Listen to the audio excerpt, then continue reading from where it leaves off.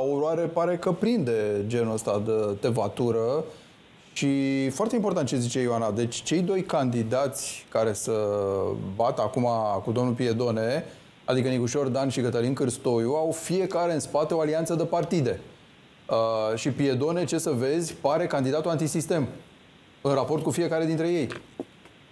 Domnul Mușat, uh, ceea ce a semănat puterea PNL și PSD în ultimii ani va culege acum și de ce spun acest lucru? Pentru că, în general, PSD a avut uh, acest plan de a susține un discurs de mahala, să-l aducă la nivel de artă parlamentară, la nivel de artă publică, de dezbatere publică, pentru că ei au oferit o tribună uh, celor de la, uh, au oferit o tribună celor de la AUR și uh, Piedone vine exact pe acest culoar pe care ei l-au consolidat cu uh, opoziția de carton controlată, care vine cu scandal, cu mult circ, cu mult spectacol ieftin, dar care, uh, evident că la o parte uh, din publicul larg prinde.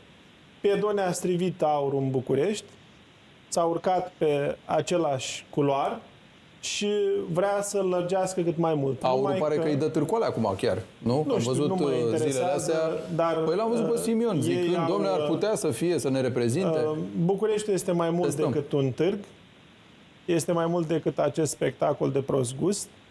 Nu trebuie neglijat și sunt om politic, sunt conștient că va avea o anumită priză la public, Însă uh, Bucureștiul este cel care dă totuși tonul și sunt absolut convins că prezența acestui tip de discurs și de campanie va mobiliza foarte mult electoratul rațional din București, care era dezamăgit și undeva confortabil pe ideea că oricum va fi reales Nicuș Șordan fără probleme. În momentul de față, jocul este resetat pentru că ce să vedeți, și intrarea doctorului Câstoi în, în joc din partea PSD și PNL schimbă lucrurile fundamental. PSD și PNL nu mai poate sta deoparte pentru că uh, un câștig uh, și o poziționare pe locul 3 pentru, pentru această alianță de la guvernare le creează mari probleme în interior, chiar dacă vor spune că au luat nu știu ce rezultate prin țară. Păi și atunci